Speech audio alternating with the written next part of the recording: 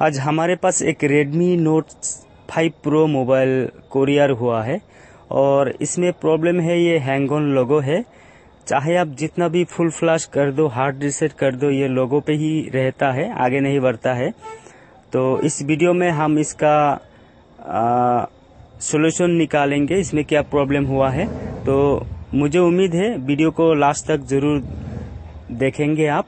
और इस वीडियो से आपको बहुत नॉलेज मिलेगा। अगर आपका मोबाइल हैंग ऑन लोगो पे आके रुकता है, यानी कि एम आई लोगो पे आके रुका हुआ है तो उसको कैसे ठीक करना है, उसका पूरा डिटेल्स इस वीडियो में मैं आपको बताऊँगा। तो कृपया आप इस वीडियो को स्किप ना करें। शुरू से लेकर लास्ट तक ज़रूर देख लेना, ठीक है? तो ये देख सकते हैं। आ, एक दो मिनट हो गए लगभग। एमआई पे ही रुका हुआ है यानी कि ये फास्ट लोगों पे ही रुका हुआ है। हम लोगों ने इसका बैक कवर ये सब खोल के रखा है नहीं तो वीडियो थोड़ा सा लंबा हो जाता और इसका मदरबोर्ड को हम लोग निकाल लेंगे। और यहाँ पे जिस भाई ने भेजा है उसने इसमें एक बार काम किया था लोगो हैंग का फिर भी ये आ, कुछ दिन चला उसके बाद लोगो हैंग हुआ तो आखिर उसने मुझे ये मोबाइल कोरियर कर दिया सेंड कर दिया ठीक है?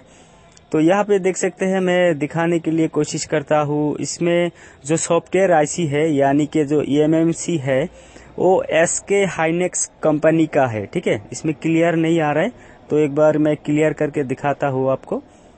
एस के हाइनेक्स का आईसी है और हम लोग इस आईसी को निकालेंगे और चेक करेंगे कि ये रिपेयरेबल है या नहीं है।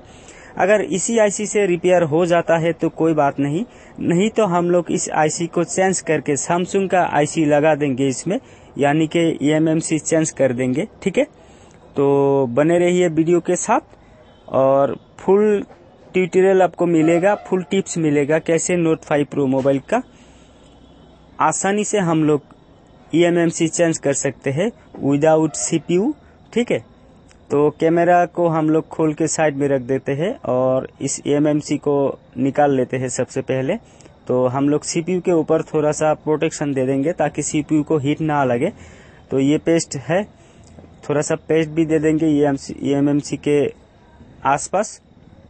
और अभी हीट अप्लाई करेंगे। एसएमडी का हीट रहेगा 360 डिग्री 360 आप 340 से 360 के बीच में रख सकते हैं। मैं 360 रख रहा हूँ।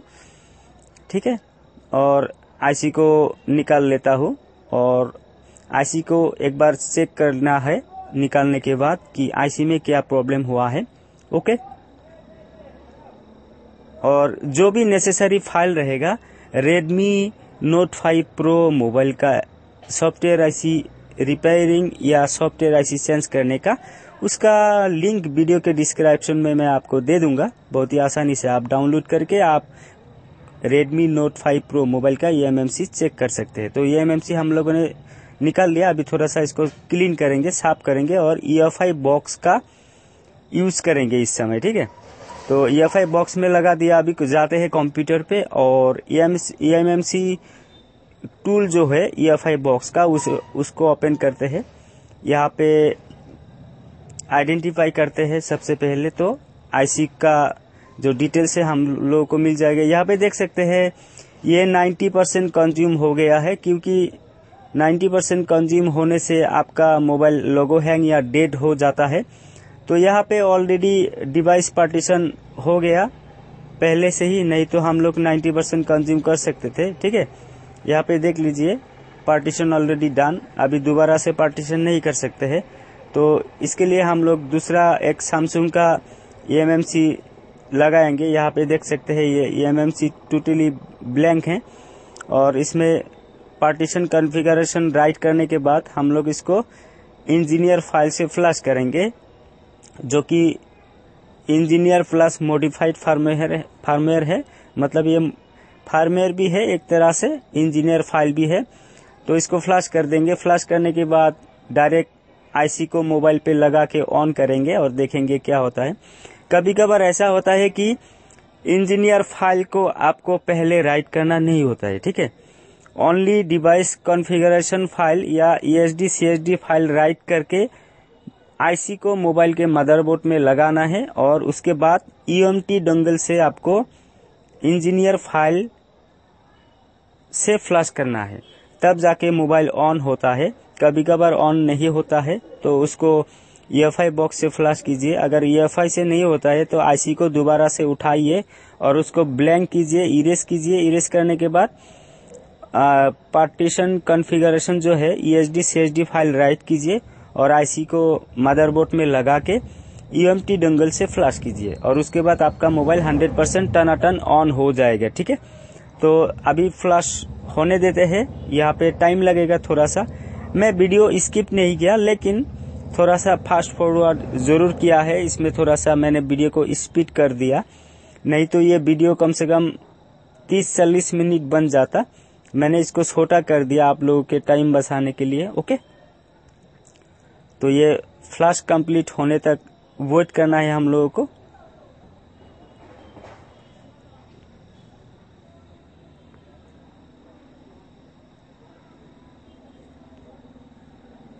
आपको पहले ही बताता हूँ मैं, अगर ईएमएमसी चेंज करना है तो फास्ट आप उसका ई एच फ़ाइल राइट कीजिए या पार्टीशन मैनेजर को सही कीजिए, उसके बाद ब्लैंक आईसी को मदरबोर्ड में लगा दीजिए और इंजीनियर फ़ाइल को ईएमटी डंगल से फ्लैश कीजिए। अगर मोबाइल ऑन हुआ तो हुआ नहीं हुआ तो आईसी दोबारा निकाल लीजिए और उसको रिबल करके ई बॉक्स से इंजीनियर फ़ाइल को फ्लैश कीजिए और उसके बाद लगा दीजिए हंड्रेड परसेंट आपका मोबाइल इंजीनियर मोड में ऑन हो जाएगा, ठीक है? और इंजीनियर मोड में ऑन होने के बाद आपको उसका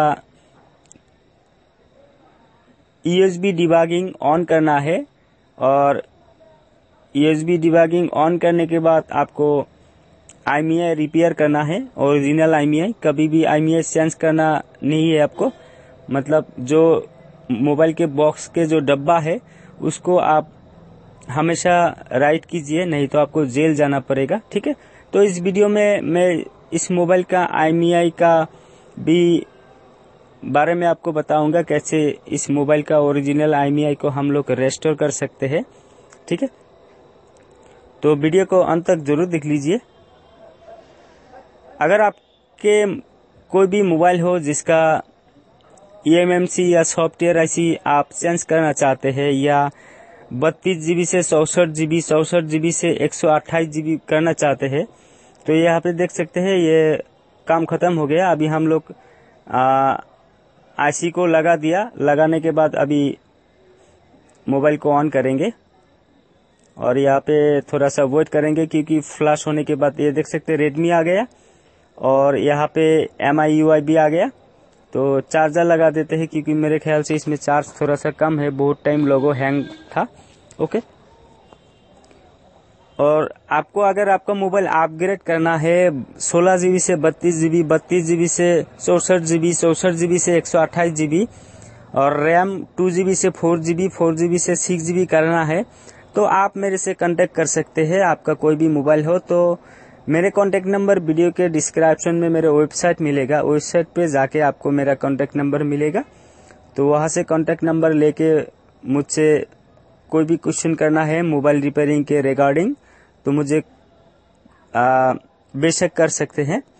तो यहाँ पे एम आई यू आई लोगों पर आके यहाँ पे थोड़ा टाइम लेगा। आपको पता ही है क्योंकि फ्लैश करने के बाद कोई भी मोबाइल ऑन होने में दो तीन चार मिनट टाइम लगता है।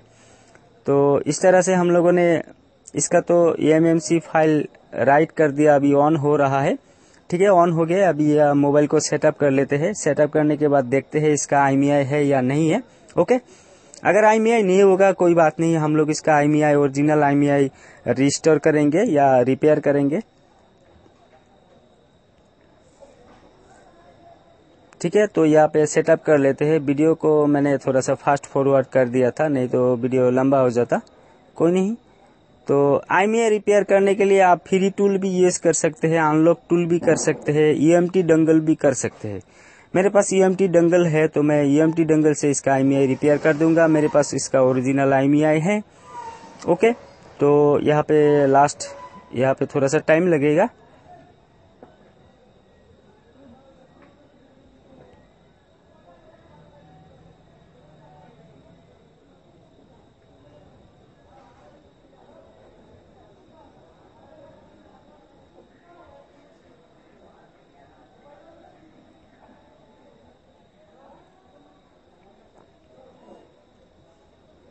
देख सकते हैं, मोबाइल तो कंप्लीट ऑन हो गया यहाँ पे देख सकते हैं मॉडल नंबर है रेडमी नोट फाइव प्रो और आई चेक करके दिखाते हैं अनेबल टू गेट आई तो इसके लिए आपको एक कोड डालना होगा star hash seven one double seven one seven नहीं तो one three four nine one M I U I version पे सात बार प्रेस करने के बाद यहाँ पे यूएसबी डिबगिंग ऑन करेंगे।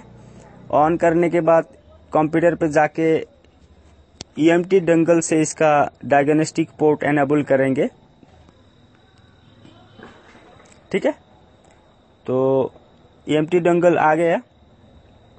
अभी शामी स्पेशल पे जाके एनेबल डाइक पोर्ट दोबारा से ट्राई करने से ये हंड्रेड परसेंट आ जाएगा।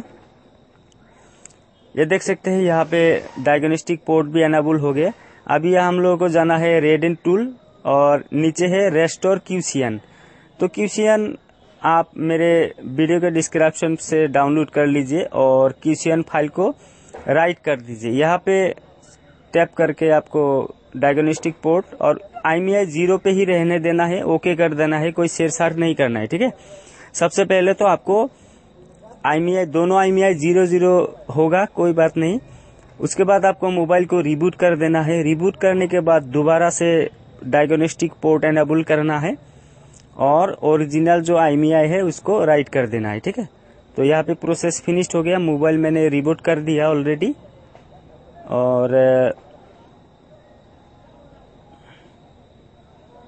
रिबूट होने के बाद थोड़ा सा वेट करते हैं यहाँ पे। हाँ ऑन रिबूट होके ऑन हो गया। तो इसको काट देते हैं, कोई नहीं। अभी हम लोग इसको दोबारा से डायग्नोस्टिक पोर्ट एनेबल करेंगे।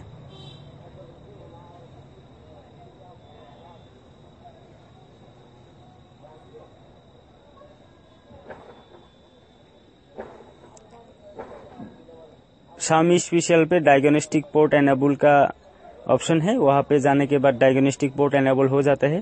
तो रेड एंड टूल में आएँगे दोबारा से रिपेयर आई ओके कर देंगे यस कर देंगे। और उसके बाद यहाँ पे ओके करके डायग्नोस्टिक पोर्ट एनेबल करके ओके करेंगे। और यहाँ पे हम लोगों का जो ओरिजिनल आई है, मेरे पास इसका ओरिजिनल आई है। तो आई को यहाँ पे फ़र्स्ट आई और यहाँ पे सेकेंड आई कॉपी करके हम लोग इसमें पेस्ट कर देंगे और ओके करेंगे। और एक डेढ़ मिनट के अंदर ओरिजिनल आई भी इसका रिस्टोर हो जाएगा, ठीक है?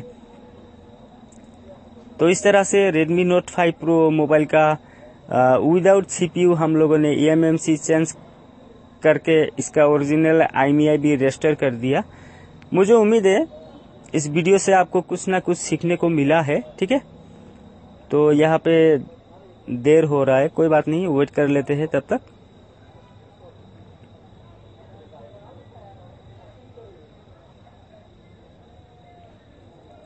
आपका कोई भी मोबाइल रिपेयर करना है या कुछ भी करना है, मोबाइल रिगार्डिंग कुछ भी बातें करना है, क्वेश्चन करना है तो बेशक कीजिए और वीडियो में कमेंट भी कीजिए। हम हम लोग हमेशा सब कमेंट का रिप्लाई भी ज़रूर करते हैं, ठीक है?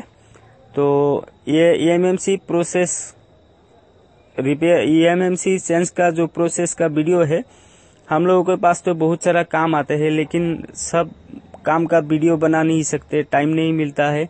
तो आप लोगों के कमेंट और आप लोगों को बताना ज़रूरी होता है, इसलिए कभी कभार दो एक वीडियो भी बनाते हैं, ठीक है? तो वीडियो बनाने के लिए एक्स्ट्रा टाइम जाता है, मेहनत जाता है तो इसके लिए आपसे एक लाइक और एक ज़रूर से कमेंट इसको कर देना है आपको वीडियो को, अगर अच्छा लगा और कुछ सीखने को मिला। तो यहाँ पे देख सकते हैं ऑपरेशन फिनिश यानी कि आई रिपेयर भी हो गया। तो अभी कंप्यूटर का काम क्लियर हो गया, मोबाइल का आई रिपेयर भी हो गया। तो हम लोग सिंपली अभी मोबाइल को चेक करेंगे, ओरिजिनल आई रिपेयर हुआ या नहीं हुआ, ठीक है? तो अगर इस वीडियो से कुछ सीखने को मिला तो प्लीज़ मेरे चैनल को सब्सक्राइब, फॉलो और इस वीडियो को शेयर एंड लाइक ज़रूर कर देना। ये आपसे गुजारिश है, ठीक है? क्योंकि आप लोग वीडियो तो देखते हो, लाइक और कमेंट नहीं करते हो। आपका एक लाइक से बहुत मोटिवेशन मिलता है हम लोगों को आगे का वीडियो बनाने के लिए, ठीक है? तो इस बार कमेंट ज़रूर करके जाना।